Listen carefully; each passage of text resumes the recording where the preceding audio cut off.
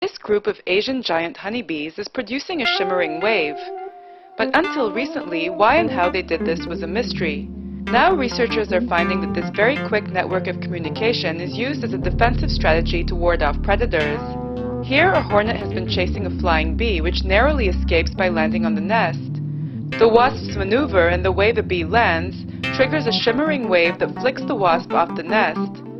The researchers found that honeybee colonies varied the strength and rate of their waves depending on their predator's speed and proximity. But hornets also seem to be tuned into the strategy. When they were within 50 centimeters of a large nest and witnessed a shimmer, the visual cue would scare them away.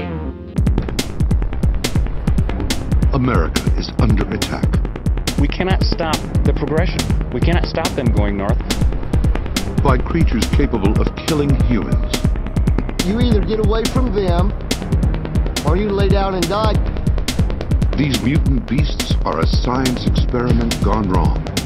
One biologist likes to call them a biological time bomb. Attacking those that cross their paths. These are giant swarms of killer bees. They were in my eyes, my ears, my mouth, my arms, my hands. They were, they were just all over me. It's a monstrous type of insect. It's, it's very scary. This was spread out. This was, I guess you'd call an attack, you know, like planes attacking a ship. I looked at their faces and I didn't have to say anything. I read it. And then the bees came after me immediately. Eyewitnesses report dense swarms of killer bees.